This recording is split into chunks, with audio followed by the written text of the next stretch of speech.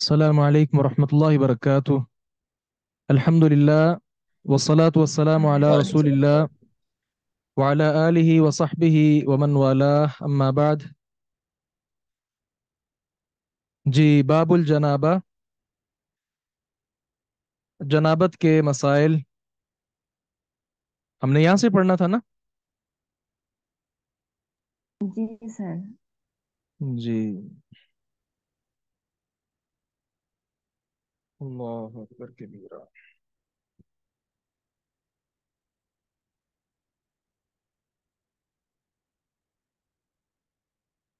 जी अबू हुरैरा रदी अल्लाह अन्हु से रिवायत है बयान फरमाते हैं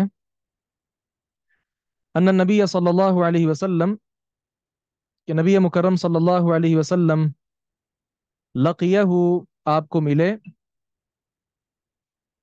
फ़ी बाद तुरुक़िल मदीना मदीना के रस्तों में से किसी रस्ते में, मदीना के किसी रस्ते में आपको मिले वह हुआ जुनुबुन इस हाल में के आप जनाबत में थे।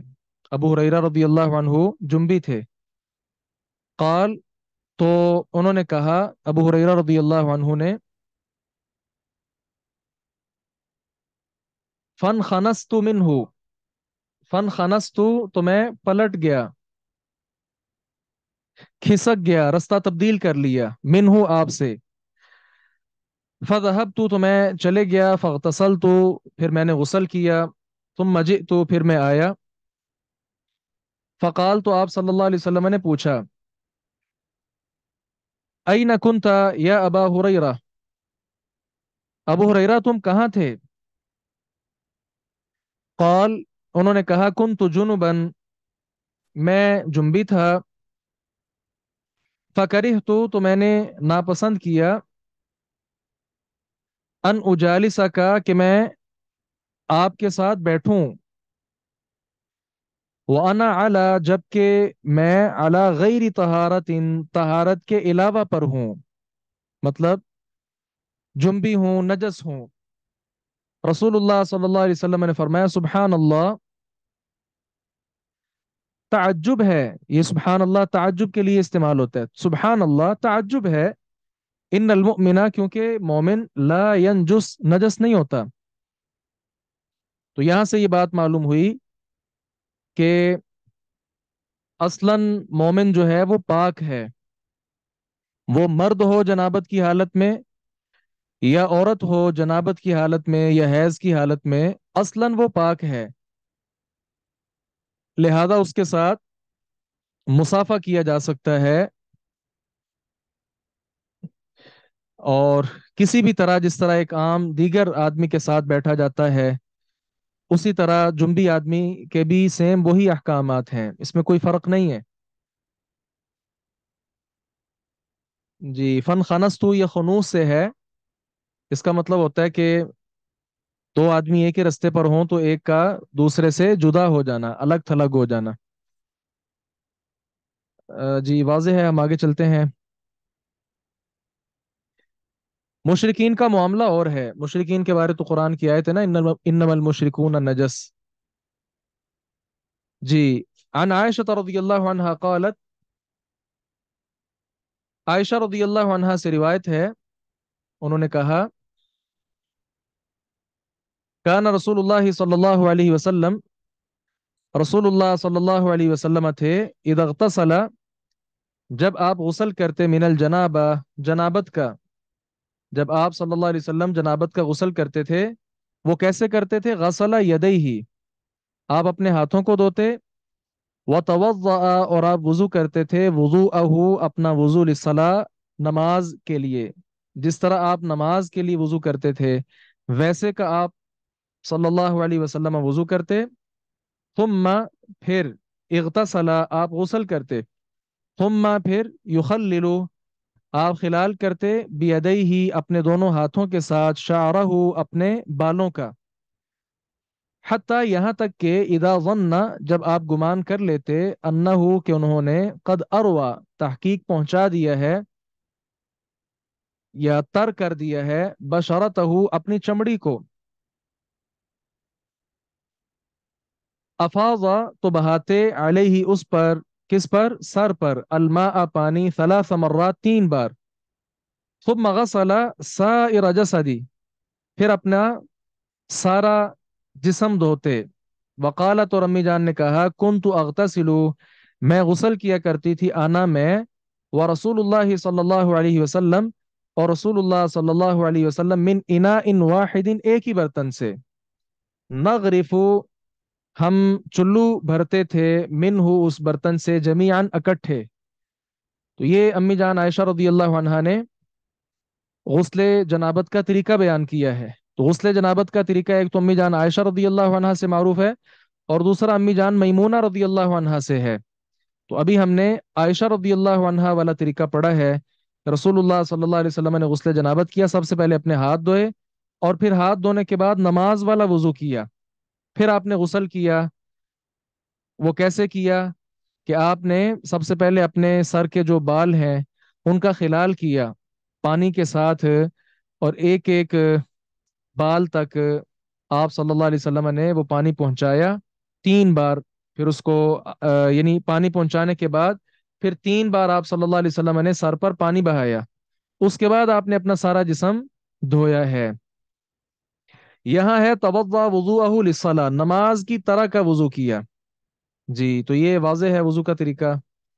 दूसरा तरीका जो गुस्ल जनाबत का है वो, अम्मी जान मैमूना रदी अल्लाह मैमूना बिनते हारिस जो नबी अकरम सल्लल्लाहु अलैहि वसल्लम की जोज मतहरा है, उन्होंने कहा, वज़अतु, मैंने रखा रसूलुल्लाह सल्लल्लाहु अलैहि वसल्लम, रसूलुल्लाह के लिए वज़ू अल जनाबा जनाबत का पानी।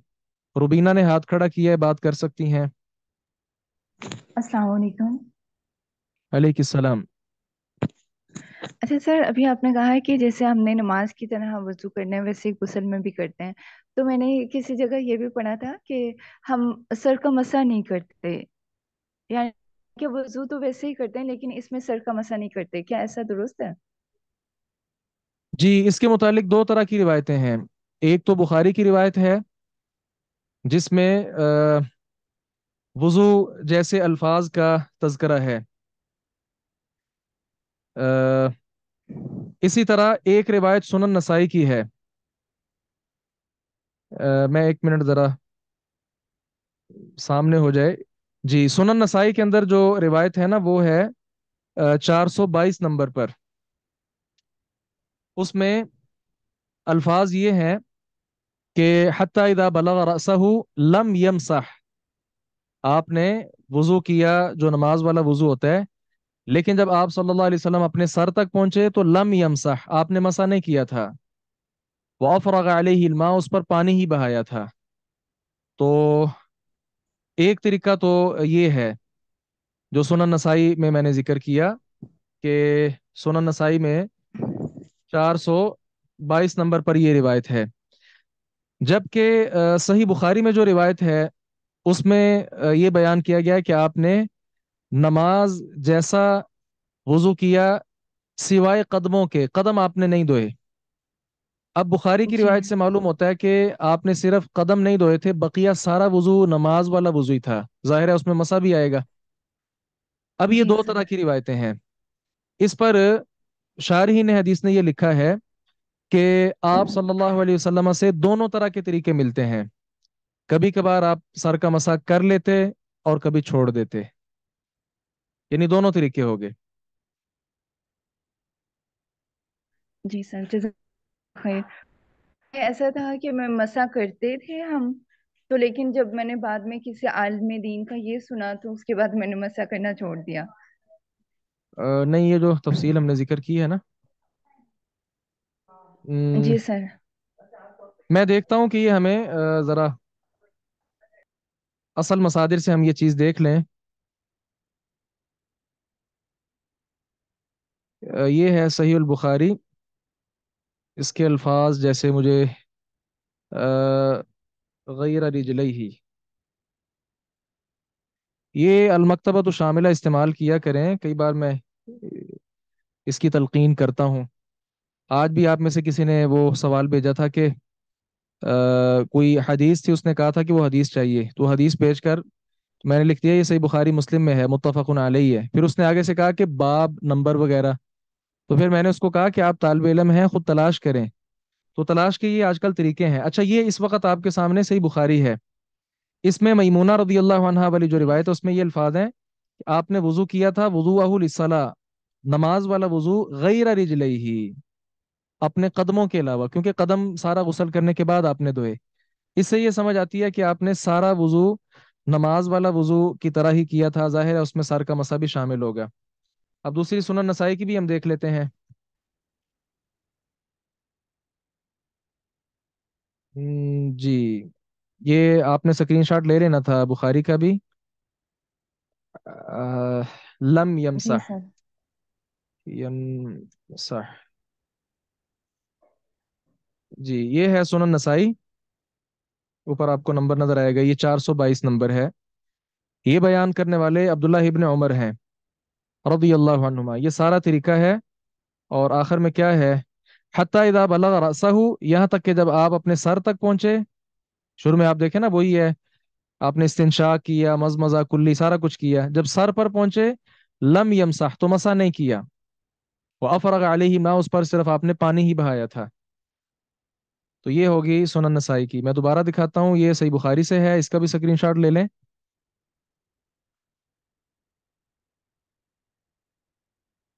और ये सुनन हाँ नसाई है। आवाज़ आ रही है ना। जी, ये सुनन नसाई है। जी, हम वापस चलते हैं। आप सल्लल्लाहु अलैहि वसल्लम के लिए मैंने जनाबत का जो पानी था वो रखा। ये जो अभी हम तरीका पढ़ रहे हैं, ये मैमूना रदी अल्लाह वाला तरीका है। अल्लाह अकबर कबीरा। जी फ़अक फ़का फ़अक फ़अ तो आपने डाला। बेअमीन ही अपने दाएँ हाथ के साथ, अला यसारी ही अपने बाएँ हाथ पर, मर्रतैनी दो बार औ सलासन या तीन मरतबा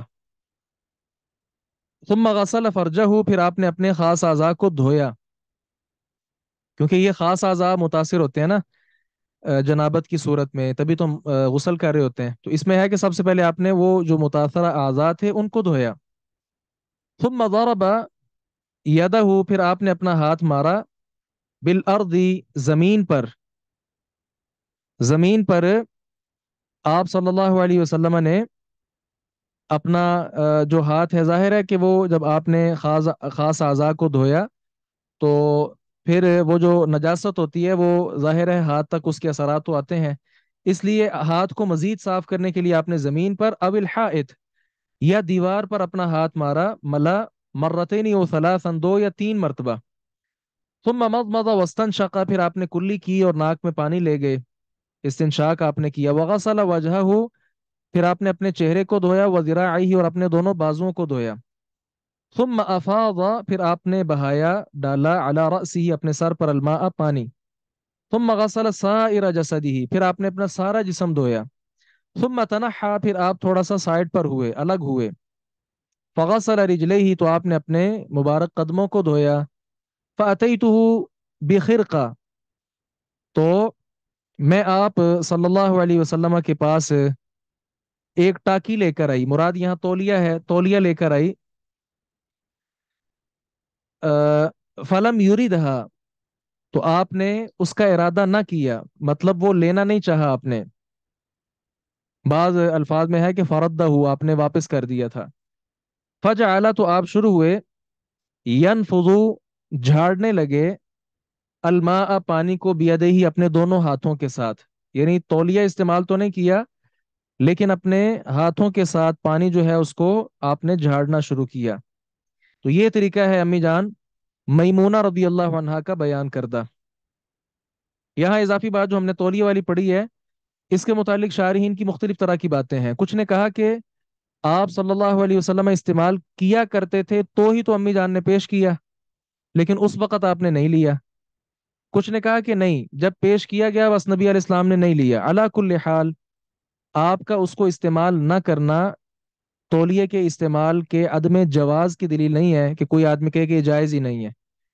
क्योंकि आप सल्लल्लाहु अलैहि वसल्लम ने ये तो नहीं कहा कि ये यानी इस्तेमाल नहीं किया जाता या कोई ऐसे की बात आपने नहीं की। बस तबान आपने कहा कि, यानी आपने उसको इस्तेमाल नहीं किया।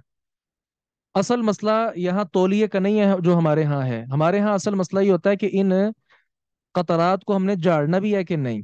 बाद लोग इनके झाड़ने से भी मना करते हैं। और आजकल तो नया नया मार्केट में जो मसला आया है मैं तो सुनकर वो कितने दिन हैरान रहा हूँ। वो बाज लोगों ने ये मसला बयान किया है सोशल मीडिया पर उस, वो वीडियोस जारी हुई हैं कि आपके वज़ू के कतरात अगर मस्जिद की चटाइयों पर मस्जिद के कालीन वगैरह पर गिरते हैं तो इसके साथ वो कालीन नापाक हो जाते हैं क्योंकि ये आपके कतरात नापाक होते हैं। इन्ना लिल्लाहि व इन्ना राजिऊन। यानी जो गुसल, जो वज़ू हम पाक होने के लिए कर रहे हैं, उसी के कतरात हमारे लिए नापाक बन गए हैं। ये बड़ी अजीब बात है। जी, वाजह है, हम आगे बढ़ें।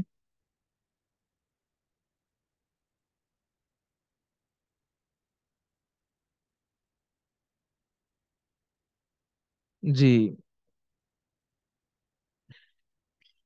अब्दुल्लाह इब्न उमर रदियल्लाहु अन्हुमा बयान करते हैं अन्ना उमर इब्न अल-खत्ताबी उमर अब ना होना चाहिए यहाँ नी क्यों लिखा हुआ है उमर इब्न अल-खत्ताब ये नी नहीं सही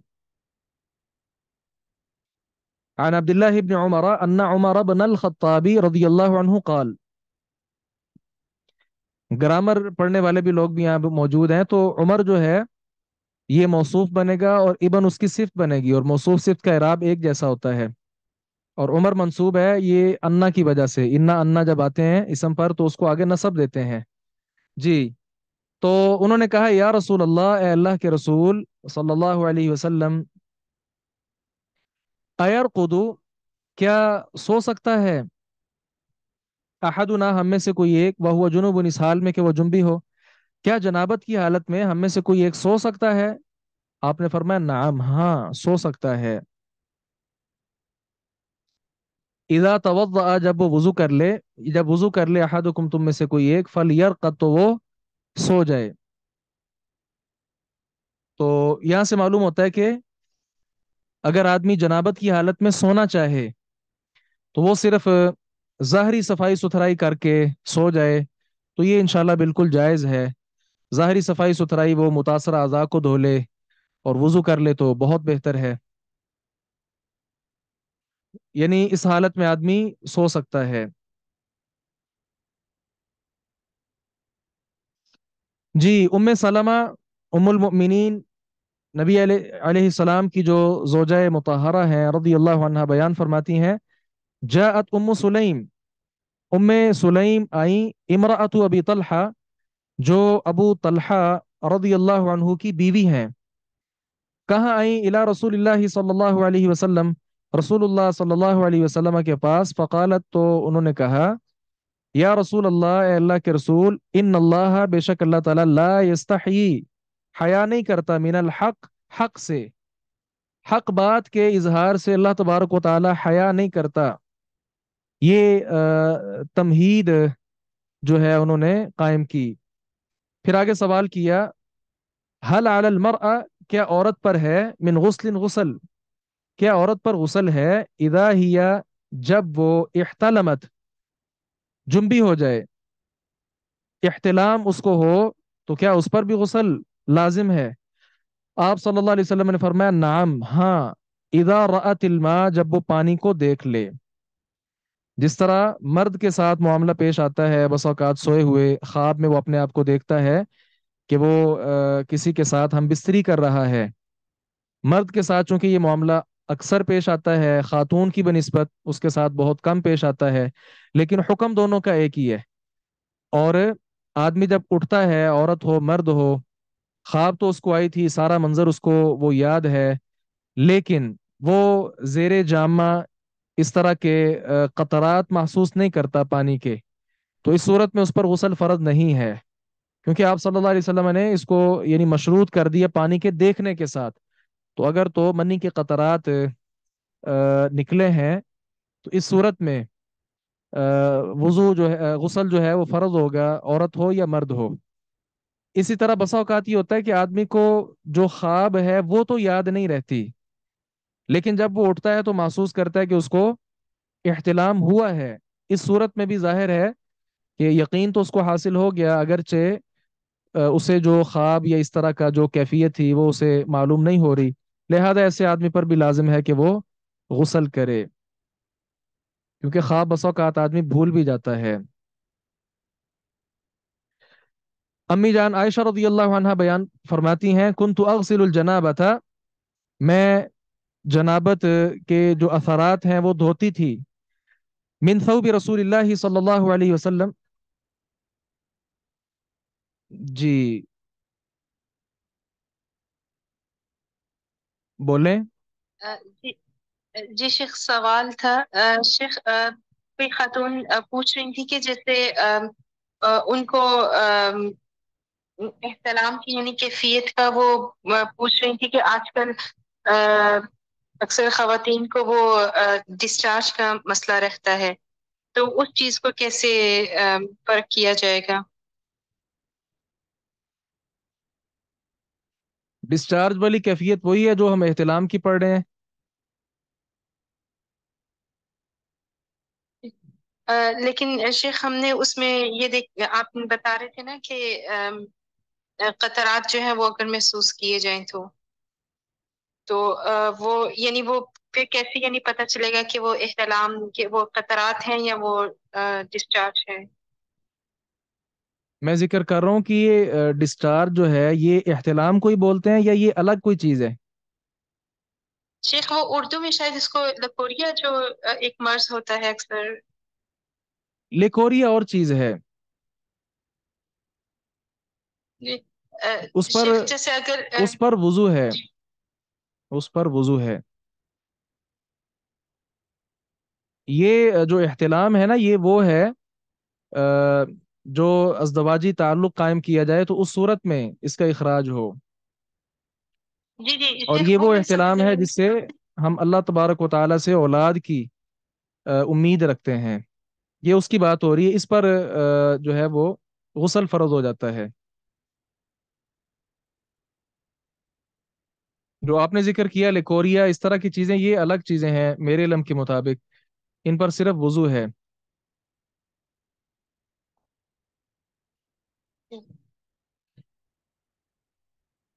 जी हम आगे बढ़ते हैं। अम्मी जान आयशा रदी अन्हा बयान फरमाती हैं अ, कुन्तु अगसिलुल जनाबा मैं जनाबत के अथरात धोती थी।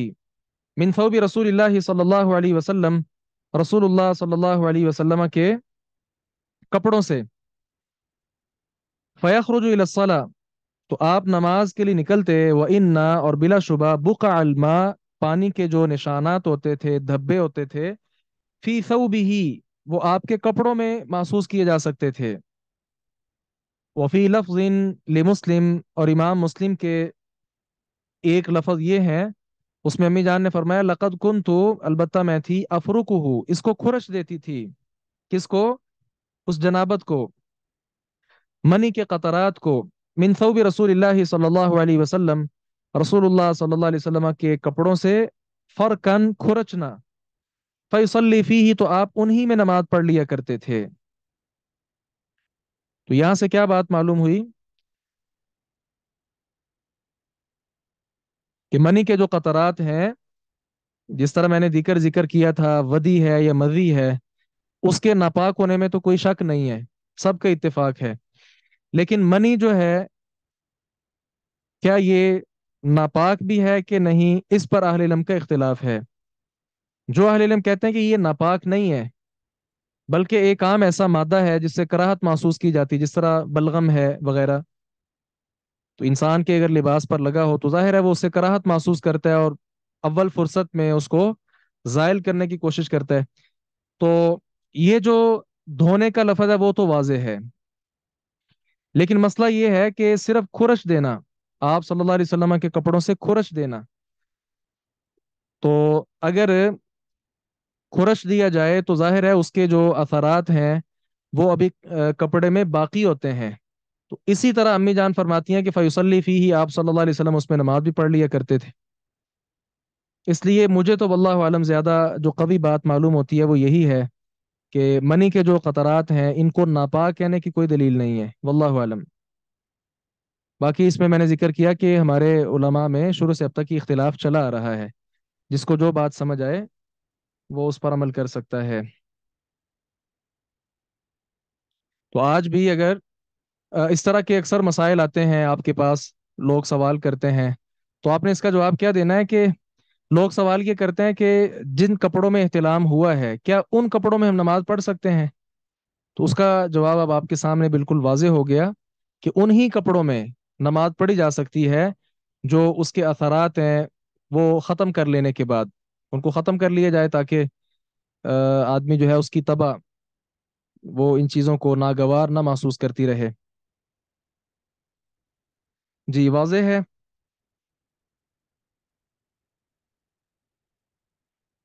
जी अन अबी रसूलुल्लाह सल्लल्लाहु अलैहि वसल्लम क़ाल अबू हुरैरा अन्हु से रिवायत है कि रसूलुल्लाह सल्लल्लाहु अलैहि वसल्लम ने फरमाया अच्छा ये जो बात मैं अभी कर रहा था ना, मनी के पाक और नापाक होने के हवाले से, इसमें एक बार मैंने शेख मोहम्मद बिन साल अल का कलाम पढ़ा था, फरमाने लगे कि ये जो मादा है माए महीन, जिसको कुरान में कहा गया है। माए महीन पर तो इत्तेफाक है, क्योंकि कुरान का लफज है। हकीर पानी है ये। लेकिन वो फरमाने फरमाने लगे कि इसको हम नापाक इसलिए भी नहीं कहेंगे कि जो अम्बिया कराम अलैहिमुस्सलाम तशरीफ़ लाए। ज़ाहिर है वो भी इस दुनिया में आदम अलैहिस्सलाम के अलावा बकिया जितने अम्बिया कराम हैं, वो जिस तरह आम लोग पैदा होते हैं, उसी तरह उनकी भी पैदाइश है। क्योंकि वो इंसान थे। तो इसी पानी के साथ ही वो वजूद में आए। तो अगर इस पानी को नापाक समझ लिया जाए तो फिर ये मानना पड़ेगा कि ये पाक और अल्लाह तबारक व तआला की मुकर्रब जो हस्तियाँ हैं, इनकी असल भी नापाक थी, फिर ये पाक हुए हैं। तो ये एक अजीब सी बात लगती है। ये बतौर यानी अकली दलाइल के तौर पर एक दलील ये भी उन्होंने पेश की थी इस पर। जी, नबी अलैहिस्सलाम ने इरशाद फरमाया रसूलुल्लाह सल्लल्लाहु अलैहि वसल्लम ने इदा जलसा बैन शुआबिहल अरबा इदा जब जलसा आदमी बैठे, बैना शुआबिहल अरबा, बैना दरमियान शुआबिहा हा हा जमीर का मर्जा जो है पीछे उसकी बीवी है। बीवी की चार शाखों के दरमियान, अल अरबा चार, जब आदमी अपनी बीवी की चार शाखों के दरमियान बैठे सुबहान अल्लाह ये है हमारी शरा, शरीयत। जो मुकम्मल मसला भी समझाने के साथ मुकम्मल हया वाले जो अल्फाज हैं, उसका चुनाव ना सिर्फ़ ये कि करती है, बल्कि सिखाती है। जी, जब आदमी अपनी बीवी की चार शाखों के दरमियान बैठे, चार शाखों से क्या मुराद है? दो बाजू हैं और इसी तरह दो कदम हैं। तो ये चार शाखें हैं जिनके दरमियान आदमी बैठे। सुम्मा जहादहा फिर वो कोशिश करता है। अजदवाजी ताल्लुक कायम करते हुए कोशिश करता है। फ़कत वजब अल गुस्लु तो गुस्ल वाजिब हो गया। वफ़ी लफ्ज़ मुस्लिम, और इमाम मुस्लिम के एक लफ्ज़ ये हैं व इल्लम युनजिल अगरचे इंजाल ना भी हुआ हो। व इन और अगरचे लम युनजिल। उसने इंजाल ना किया हो मतलब उससे जो मनी के कतरात हैं, वो ना निकले हों। बस औकात ऐसा भी होता है, आदमी बीवी के करीब जाता है कोशिश करने के बावजूद इंजाल नहीं होता मनी के जो कतरात है वो नहीं निकलते। इससे पहले ये मियाँ बीवी आपस से जुदा हो जाते हैं। तो पहले पहल तो मसला ये था कि इंजाल हो तो फिर गसल फ़र्ज़ होता था लेकिन बाद में ये मसला हुआ कि नहीं अ, जब मियाँ बीवी आपस में मिलते हैं अजदवाजी ताल्लुक कायम करते हैं उसके साथ ही गुस्ल फ़र्ज़ हो जाता है खा अ, इन, इंजाल जो है वो हो या ना हो। जी, अबू जाफ़र मोहम्मद इबन अली बिन हुसैन बिन अली बिन अबी तालिब रदी बयान करते हैं, अन्नहु कि वो काना हुआ, वो थे व अबू और उनके बाप इंद जाबिर इब्न अब्दुल्लाह, जाबिर बिन अब्दुल्ला रदी के पास। अबू जाफ़र मोहम्मद इनका नाम है, ये और इनके बाप अली बिन हुसैन, ये किसके पास बैठे थे? जाबिर बिन अब्दुल्ला रदी अल्लाह के पास। वाइंदहु कौमुहु और उनके पास कुछ और लोग भी थे। फसअलूहु अनिल गुस्ली तो उन्होंने इनसे गुसल के मुतालिक पूछा कि गुसल के लिए कितना पानी काफ़ी होगा। फ़काल तो जाबिर रदी अल्लाह ने फरमाया यकफ़ी का आपको किफ़ायत कर सकता है, साउन एक सा। दो हाथ आप मिलाएँ ना, जिस तरह हम दुआ करते हैं तो इसमें पानी डाल, ये होता है एक मुद। चार मुद मिले तो एक सा बनता है। जी तो एक सा पानी इतना काफ़ी है गुसल के लिए। फ़काल रजुलन तो एक आदमी ने कहा, मा यकफीनी, मुझे तो ये किफ़ायत नहीं कर सकता। फ़काल जाबिर जाबिर फरमाने लगे, कान यकफी, इतना पानी काफ़ी था।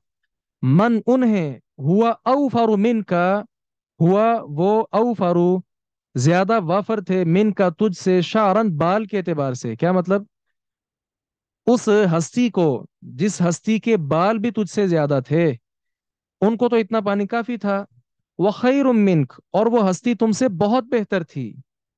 उनको तो इतना पानी काफ़ी था। युरीदू, वो मुराद ले रहे थे रसूल अल्लाह सल्लल्लाहु अलैहि वसल्लम, रसूलुल्लाह सल्लल्लाहु अलैहि वसल्लम की ज़ात अक़दस को। अल्लाह अकबर कबीरा। तुम अमना फिर उन्होंने हमारी इमामत फरमाई फ़ी बिन एक कपड़े में। वफ़ी लफ्ज़िन, और एक लफ्ज़ क्या है? कान नबी सल्लल्लाहु अलैहि वसल्लम, नबी मुकरम सल्लल्लाहु अलैहि वसल्लम थे, युफरिगुल मा अला रअसिही थलाथन अपने सर पर आप तीन मरतबा पानी डालते थे।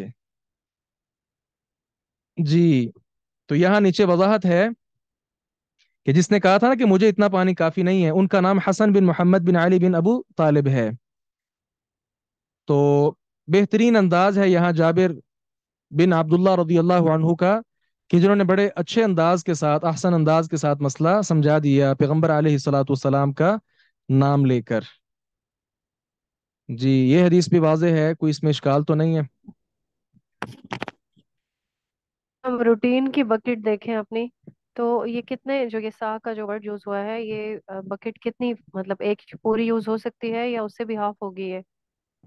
क्वांटिटी पानी के हिसाब से जो मैं पूछ रही हूँ। यहाँ आया है एक सा, ये तकरीबन पाँच किलो और शायद कुछ ग्राम पानी बनता है ये।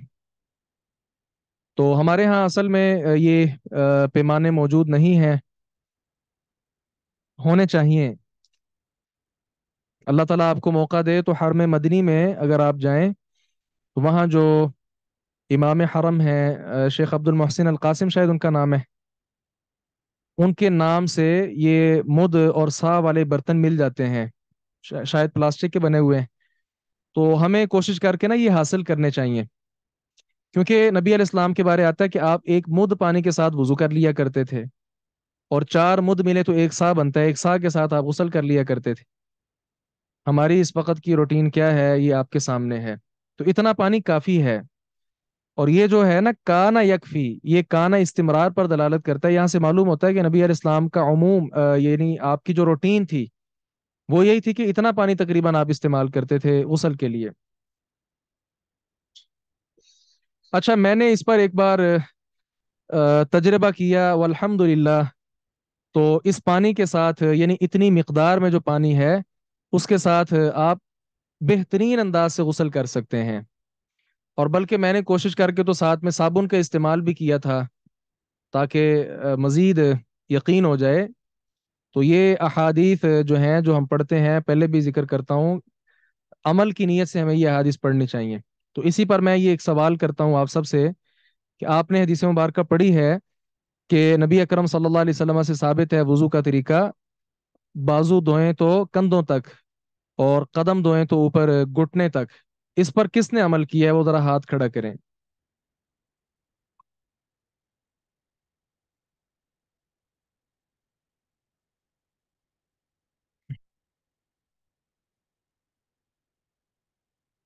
माशाल्लाह, बुशरा, साजिदा, अबू अब्दुलरहमान अफशा, आयशा इफ्तिखार। आबिद इकबाल माशाल्लाह तबारकल्ला हबीबा फातिमा अल्हम्दुलिल्लाह ये मकसूद है कि जो अहादीस पढ़ें उस पर हम अमल की पूरी कोशिश किया करें तो इस पर जो है एक मुद पानी और एक सा इस पर भी इंशाल्लाह फिर किसी दिन अल्लाह ने चाहा तो हम सवाल करेंगे जी इसके बाद आगे है बाबू तयम्मुम वो इंशाल्लाह हम फिर पढ़ेंगे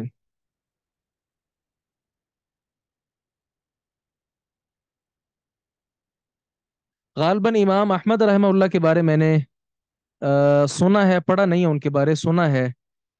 उन्होंने फरमाया कि मैंने नबी अकरम सल्लल्लाहु अलैहि वसल्लम की जितनी सुन्नतें हैं कोशिश करके सब पर ही अमल करने की कोशिश की है। सिवाय जो लंबे बाल हैं उन्होंने ज़िक्र किया कि मैं ये लंबे बाल नहीं रख पाया।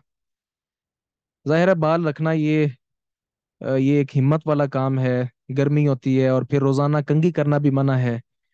और फिर ये भी हुक्म है कि मन कान लहु शारुन फलयुकरिम हो, जिसको अल्लाह ने बाल दिए हैं, वो उनकी इज़्ज़त करे, उनकी तकरीम करे, इकराम करे, एहतराम करे। तो तकरीम क्या है कि उनको अच्छे से रखे, संवार कर रखे, तेल लगाए, खुशबू लगाए, उनको धोए वगैरह वगैरह। तो यहाँ से ये बात मालूम होती है कि हमारे असलाफ, माशाल्लाह, किस कदर नबी अकरम सल्लल्लाहु अलैहि वसल्लम के तरीकों को मालूम करते थे और फिर उन पर अमल किया करते थे।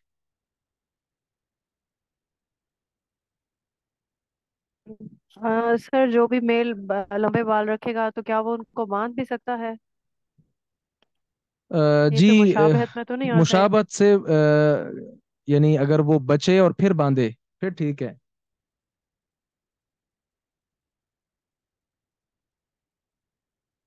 अबू बकर रदी से इस चीज़ का सबूत मिलता है।